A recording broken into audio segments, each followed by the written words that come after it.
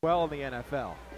Jackson State, such a long line of some great historic players to come out as Ivy decides to keep part of 17 returning players, returning starters here for Jackson State. Ivy over the middle has his man, and it is Ollie complete across the 40, and that yards and a couple of touchdowns. But Ivy electing, at least right now, to go to the air.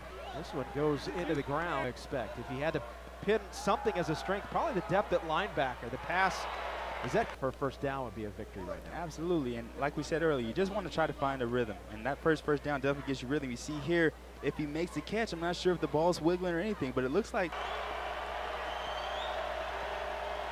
Ollie, the man that was in motion. Ivy's pass is caught. Benji Parrish in command once again on first and 10. This time he's going to keep it himself and dive ahead for a pick. An all Mountain West performer is Tao Lotulelei. Ivy feeling pressure, throws near side, has his man, and it's caught. Daunte Culpepper a little bit, kind of a big guy that can really push the pile as he drops back and throws over the middle. Pass there is caught. September 1 as the season gets underway on a Thursday night here on the Mountain West Network on Campus Insiders. The pass from Ivy is caught. Third down opportunity here to convert for Jackson State. And Ivy now in a throwing situation feels the pressure. This one is going to go incomplete. I'll pick up a three, so second down and seven. Handoff here up the middle. And good for a first offense. Try to get the run game going. Ivy looking up top deep.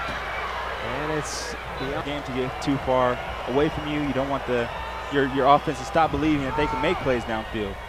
Ivy's pass far side intended for Williams. We're here with Caleb Herring, former Rebel great quarterback, and Shea Pepler on the sideline for us as the pass. So second down and 15. Ivy hands it off. That's Bates, as Joshua Bates. Handling adversity, staying with that drive and that will to get things done. That's what they're trying to exemplify here tonight. And the snap nearly goes over the head of Ivy, but is able to corral it, be exact. After some of those defensive members got chewed out after that last drive, they want to make a good third down stop off into the shotgun. Second down and eight. It's intercepted. Torry McTyer inside the 10. McTyer will take it to the house.